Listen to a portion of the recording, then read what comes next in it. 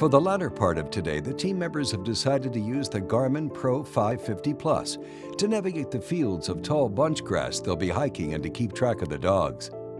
I've used the uh, Garmin Alpha for years. I love it. It's a fantastic unit, but this is Garmin's new Pro 550 Plus.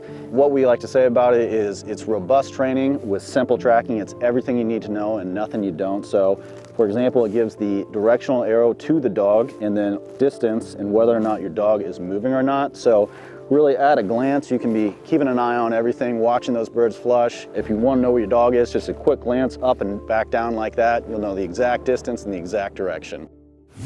So uh, we're out here, it's opening morning. Uh, actually, I should say afternoon at this point. We got Bo, the Labrador, and Andrew right over there. I'm never gonna admit this to him in person, but that's one of the best labs I've ever seen. So if there's birds out here, I know that dog is gonna find it.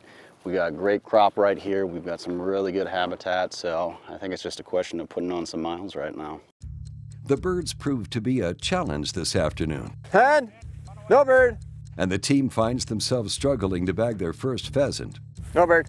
No bird. But, like any group of hunters, no bird.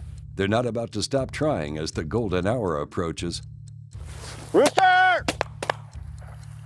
So after the first rooster flushed and missed shots, we pushed on with high hopes, knowing that there were some more birds ahead, and lo and behold, another rooster flush, real nice rooster, and we were able to connect, put my first South Dakota rooster in the bag. There we go! 13 minutes left and we're on the board.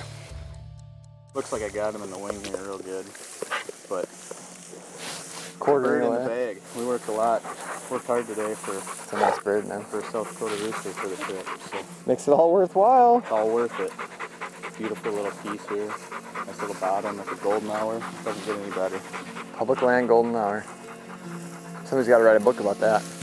You couldn't have asked for a better bird for the end of the day, you know, and it just kind of looking at it, it really just kind of embodies everything you love about pheasant hunting. There's beautiful dogs, you know, great dog work, great people. What more could you ask for?